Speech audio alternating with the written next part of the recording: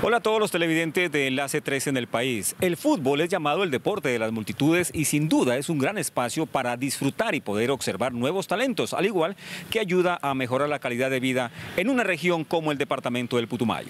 Veamos la siguiente nota.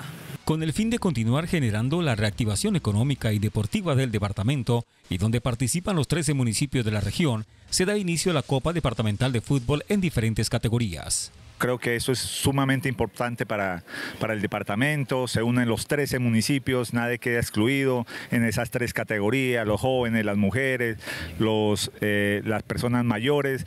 Yo creo que ha sido un torneo de los mejores que se ha realizado en la historia del departamento. Son más de mil deportistas entre hombres y mujeres que estarán en competencia durante más de cuatro meses en cada uno de los 13 municipios del departamento. San Miguel es cuna de buenos jugadores y hoy nuevamente estamos aquí en esta tercera Copa del Mundo Urbano haciendo presencia con nuestro equipo campeón que quedó el año pasado, el equipo femenino. Muy agradecidos porque nos permite a todos los putumayenses unirnos a través del deporte.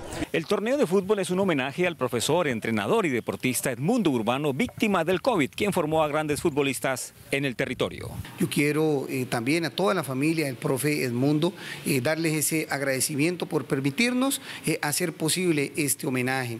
estamos con esto impulsando el deporte, estamos con esto dinamizando la economía.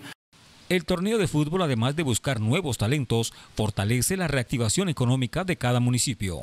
Hay un beneficio en cada uno de los municipios, la reactivación económica es impresionante. Hablo de mi municipio, mi municipio de Colón.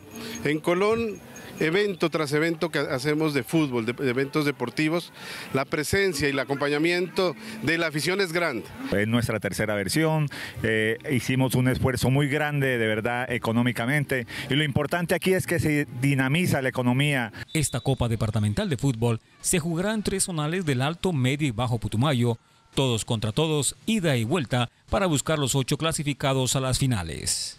Este torneo departamental de fútbol queda institucionalizado para realizarse cada año en la región. Esta es la información de Democoa Putumayo con la cámara de Víctor Zambrano, Héctor Verdugo, para Enlace 13.